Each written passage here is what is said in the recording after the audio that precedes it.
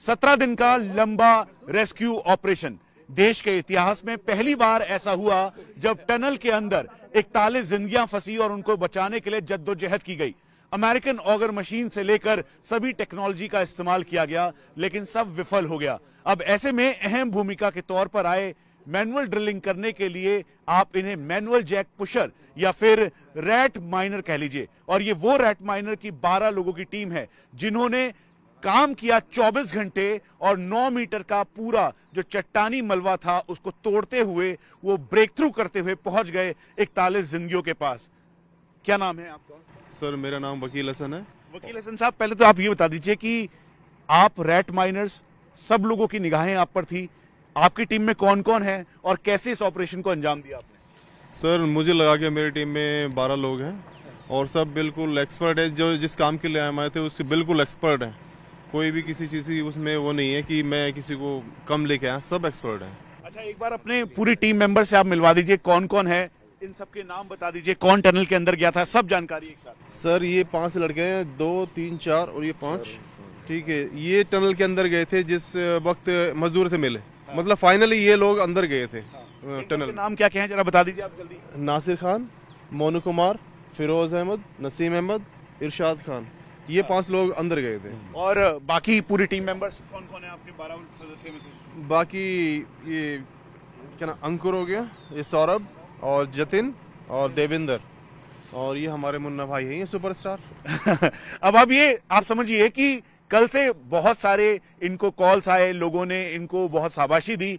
हम आपको बताते हैं कि दरअसल ये ऑपरेशन हुआ कैसे।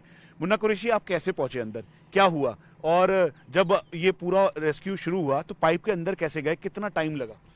हमें 26 घंटे लगे हैं। हम तीन बजे लगे थे और अपने सात आठ बजे हट गए थे पाँच छः बजे। पाँच बजे। हट गए थे बाकी फिर उन दूसरी टीम का काम था। और हम इसे पत्थर को काटते थे स्टील भी काटते थे। जो भी प्रॉब्लम आती थी हम उसे अपने सोल्व करके और आगे चलते चले जाते थे। अच्छा हमने पाइप के अंदर घुसना तो बहुत मुश्किल था ना?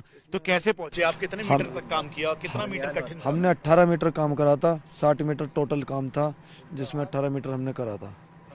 और कैसे आप आगे पहुँचे? आगे पहुँचते रहे काटते रहे किन किन औजारों का इस्तेमाल किया? हमने हिल्टी का इस्तेमाल किया गुदाली का इस्तेमाल किया और अपने जो भी फावड़े सावड़े थे उनका इस्तेमाल किया। क्या नाम है आपका? फिरोज कुरेशी। फिरोज कैसे पहुँचे पाइप के अंदर? और घबराहट भी हो रही होगी या फिर आप एक्सपर्ट हैं? और जब उधर पहुँचे जब आपने आखिरी तोड़ मारा जब आमने सामने हो गए थ्रू आउट हो गया तो कैसा लगा आपको उस समय जब 41 लोग आपका स्वागत कर रहे थे? क्या किया उन्होंने? देखो जी पहली बात तो हम इस काम के अंदर एक्सपर्ट नहीं।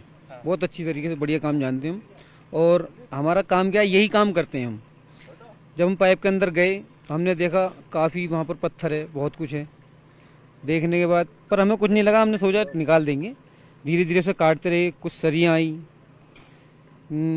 थर्टी सिक्स की, और पाइप वगैरह भी आए थे, चैनल वगैरह भी आए, सब कटर मशीन से काट पीट के उनको निकाला, पत्थर काटते रहे जैसे जैसे काटते रहे, पाइप पुश करते रहे धीरे धीरे आगे बढ़ते गए।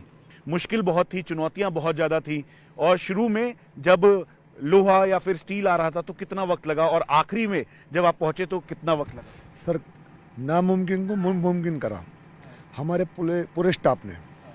ये लगा लो वेल्डर कटर फिटर जो भी थे हमारे मैकेनिकल काम के कारीगर सब मिनट सेकंडों में कर रहे थे काम को। 24 घंटे 48 घंटे बराबर कंटिन्यूस ड्यूटी दे रहे थे। जो ये इकतालीस अंदर लोग थे जब आप अंदर खुदाई कर रहे थे जब आप पहुँचे वहाँ पे जब आखिरी छीनी मार रहे थे तो सबसे पहले तस्वीर किसने देखी थी? मतलब जो आखिरी जो हथौड़ा था एक तरीके से उस पर वो किसने देखा था? मैंने क्या हुआ था उस समय? उस समय सर बहुत अच्छी फीलिंग आई थी। नासिर नाम नासिर क्या हुआ था उस समय? उस समय हुआ क्या था? मैंने जो सब्बल जो मारा था तो उन्होंने सब्बल के लिए देख लिया जो सरिया मैंने पार करा उसी सरिये पे वो भागे हुए चले आए। थोड़ी सी आवाज़ भी बहुत ना के बराबर आवाज़ आ रही थी उसमें से उन्होंने जगह बनाई अपनी।